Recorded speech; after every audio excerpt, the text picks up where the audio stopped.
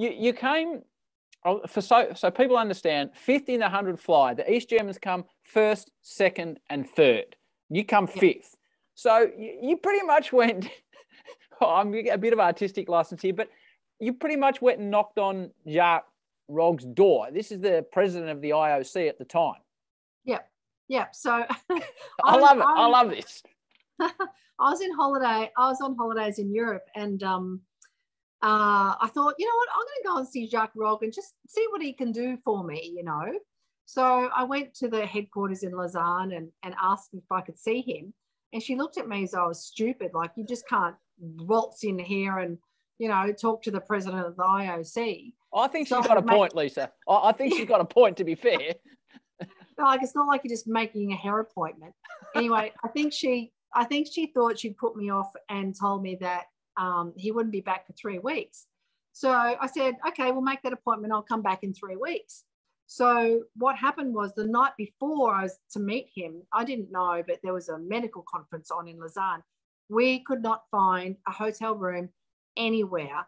We were driving around in a taxi, looking at parks, trying to find one with a park bench because that's where I was going to stay. Um, but rightly or wrongly, I was going to see him, but we we ended up finding a room. It was 500 euros for the room, and we only slept there for about five hours before we had to get up because it was so late trying to find a room. So it was very expensive. I was very late, um, but I did get to see him, and he, oh look, he was okay, but he was not going to budge because I kept saying to him, you know, what's your legacy going to be as mm. president of the IOC? And he kept saying to me, You're very persistent, Lisa.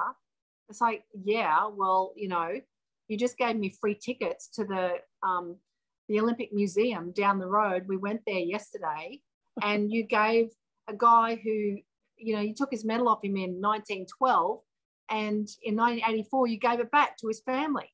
Mm. So you've done it once, you can do it again. And I had already done all the work. There's only 73 female swimmers worldwide that would need medals given back to. So I don't know. It's kind of ongoing, but no one can seem to no one can seem to do it. But it's a good story. And you know what? I actually think I actually think a movie could be made from all of that because it's an incredible story, the East German story. So Hey guys, Howie here. Thank you so much for watching the Howie Games YouTube channel. We appreciate your support.